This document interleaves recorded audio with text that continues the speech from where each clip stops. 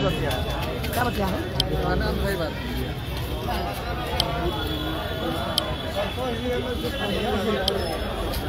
देखिए, अभी हम लोग प्रदर्शन अभी खत्म हुआ वहाँ गर्दनी बाग में और हम लोग आ गए हैं यहाँ बीजेपी कार्यालय में, सारे हज़ारों शिक्षक। अभी उप मुख्यमंत्री सम्राट चौधरी जी से हम लोगों की बात हुई है।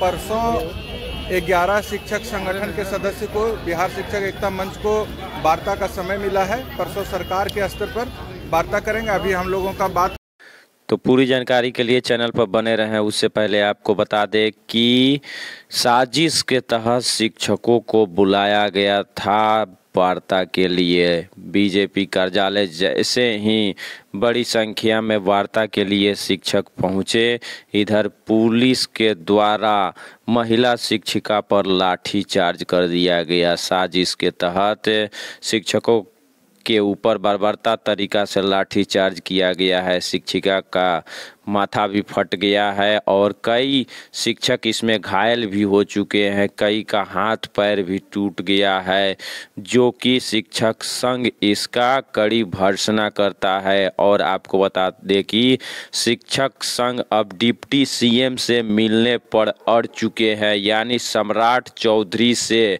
मिलने के लिए जिद कर बैठे हैं कि हर हाल में डिप्टी सीएम से शिक्षक संघ के प्रतिनिधि मिलेंगे।